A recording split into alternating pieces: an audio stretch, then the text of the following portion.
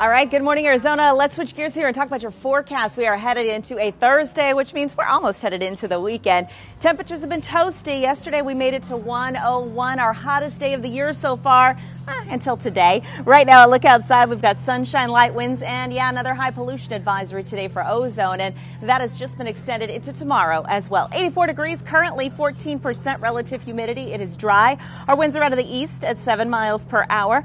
Winds should stay light today. They'll pick up a bit tomorrow, though, especially in the high country. And you could expect a windy weekend in the high country, too, as a storm approaches from the northwest. Rain chances aren't looking great with that, but it's going to finally lower our temperatures at least across the valley as we head into early next week. So today, probably our hottest day this week and for a while. 103 for Bullhead City today, 102 for Lake Havasu and 100 in Yuma, 99 for Tucson and 90 today in Winslow, 80 for Show Low, 91 in Kingman, 75 today in Flagstaff. 102 for Phoenix today, 101 tomorrow. Temperatures finally fall back to the double digits. Uh, it'll be close on Saturday, 99. Our overnight lows fall off a little as well to the 60s. And then next week, we'll see those afternoon highs come down a little bit as well to the low 90s.